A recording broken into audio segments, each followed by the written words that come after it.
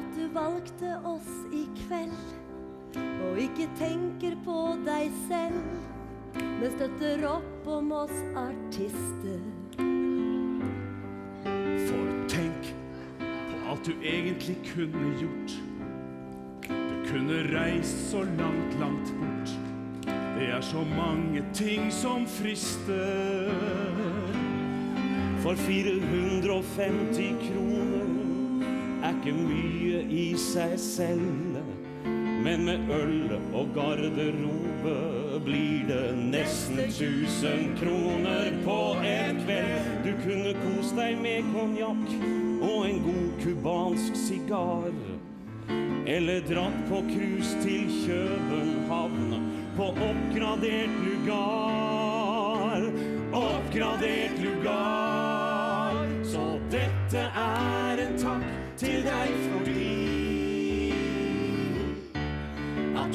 Du valgte Skåmen, Skåber og Konradi.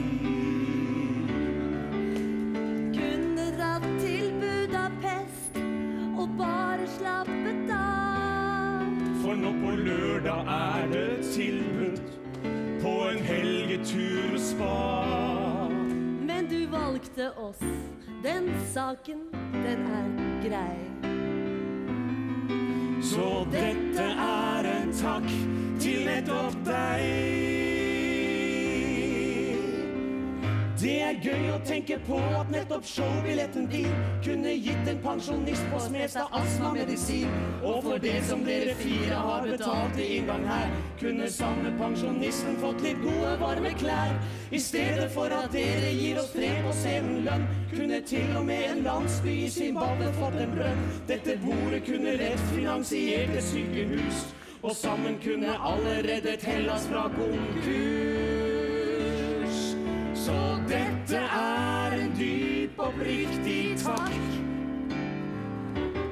for at du foretrekker oss før alle andre. Og for den drinken kunne BP fått en oljebrønn plombert. Ja, og fotballklubben Lyn, den kunne fortsatt eksistert. Men du snudde deg og så en annen vei. Så dette er er ikke sånn at dine inngangspenger liker ikke noe. Kåre Konradi har fått nye, blanke, kule steppesko.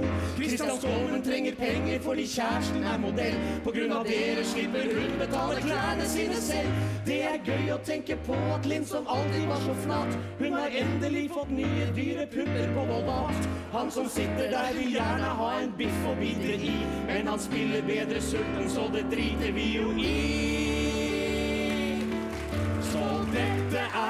en takk til deg fordi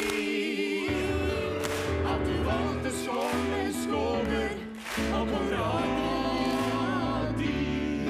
For en hundrelapp fra dere. Det kunne vært et initiativ til å gi andre skjold i Oslo et håp om lengre liv. Men til dette har du valgt å takke nei. Dette er en takk til nettopp deg. Så dette er en takk til nettopp